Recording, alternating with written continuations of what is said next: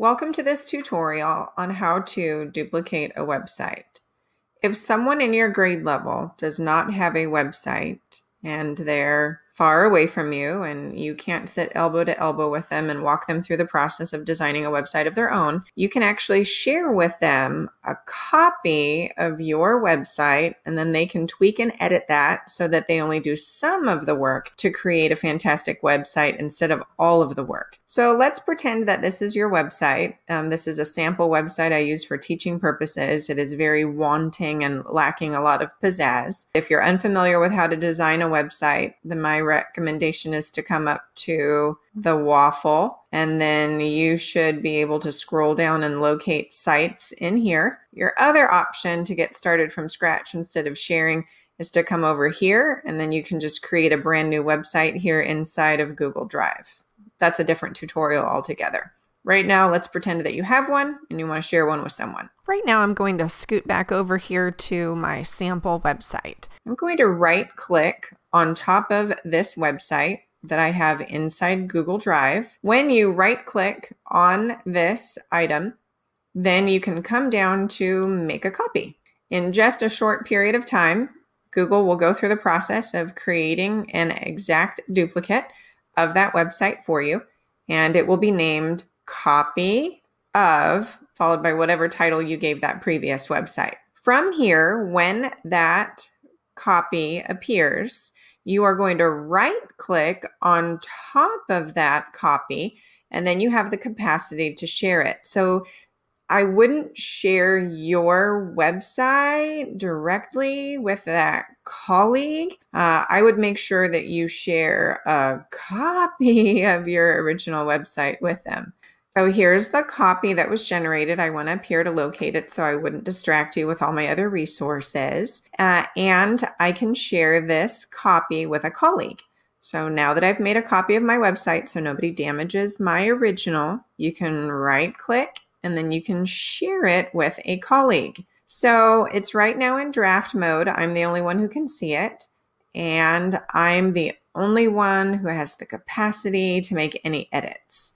Now, if I want to invite a colleague so that somebody else has the capacity to edit or can view just the published version, then I'm going to come in here and Kelly Brown is going to be my sample teacher. And I can click send and then the person that I share this with now has the ability to make adjustments to that website. So, this is the process you would use to share it with that other colleague. So, let's pretend that the other colleague is now in this space and that uh, other colleague, my other second grade teacher, doesn't know how to go through the publishing process of making that live. So let's click in here and make some adjustments.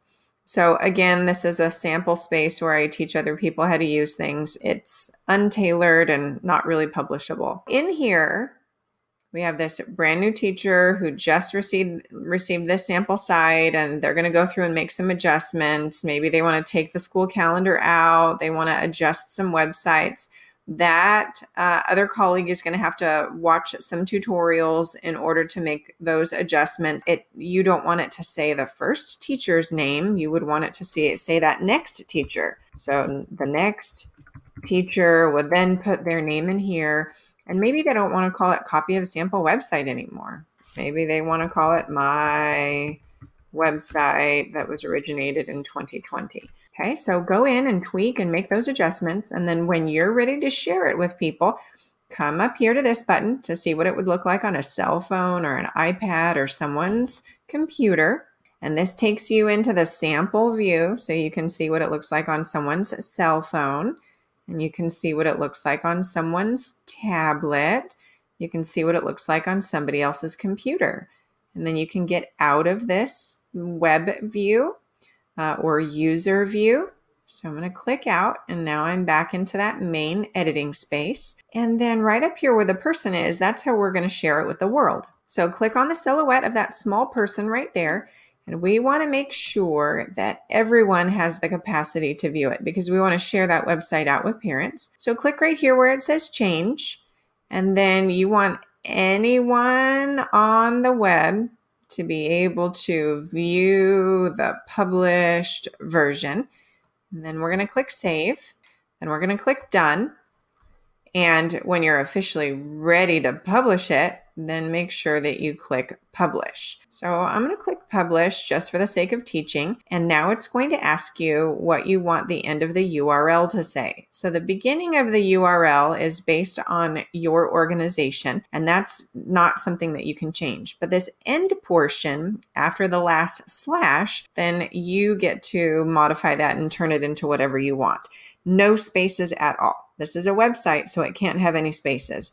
So I'm going to type next teacher just for teaching purposes. And I don't have any error messages. You would have an error message if somebody else already has that name. So if you put first grade at the very end, maybe somebody already has a website that has an ending with first grade. So you might need to add some initials that identify your school. So CH for Copper Hills, uh, or if you are Riverview, then you would put an RV at the end, or you can put an RV at the front, Riverview next to teacher. You would need to make those adjustments. And then right down here, this is where we officially publish it. So now someone on the internet has the capacity to find your website. Now, in my opinion, the URL that we saw just a second ago was quite long. So up here, down facing triangle, publish settings, right here where it says that editors must review changes before publishing, I'm going to take that check mark off and then click save.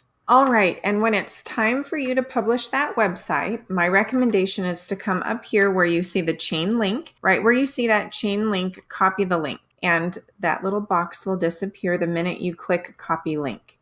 Then my recommendation is to come over to bit.ly.com and when you come to bit.ly.com, go through the process of setting up and designing an account for the very first time. And once you've designed your account, come all the way over here into bit.ly and you want to create a shortened URL. And a shortened URL is an easy way for you to share your website with parents. Come into this box, right click one time, and then click the paste button. Now, the long version of your website appeared in that box. And then in the blink of an eye, then Bitly is going to create a short URL for you. And you can come up here and type next teacher website or whatever you want. So, whatever the title is. And in this space right here, go ahead and type in whatever you want into this end space. So, let's do next underscore teacher. Okay, if you type something into this space and you try to save it and it's that URL shortener has already been used, it will give you an error message and let you know, nope, that's not going to work. I recommend that you stay away from uppercase and lowercase letters if at all possible, just because absolutely everything that's case sensitive in this space must be typed in perfectly in order for your viewers to see that exactly. Once you've made some adjustments, go ahead and click save. Ooh, error. This one's already been taken. So let's see if I can change that into, maybe let's do capital BR. So Bud rank next teacher and then click save. All right, so this is an option. Try not to make it excessively long because the whole purpose of this URL shortener is to make it shorter than that original link. Let's copy one time right here by clicking this button. And then let's come up here to double check that that works in this incognito window where I'm pre- pretending that I'm a parent um, who is uh, outside of the Clovis Unified community. They don't work for Clovis Unified.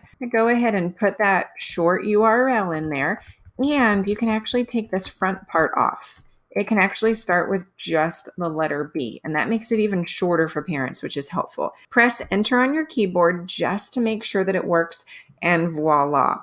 This is another great way to make sure that any videos, PDFs, or other resources that you have placed in here will function properly. Team, thanks so much for coming and have a great day.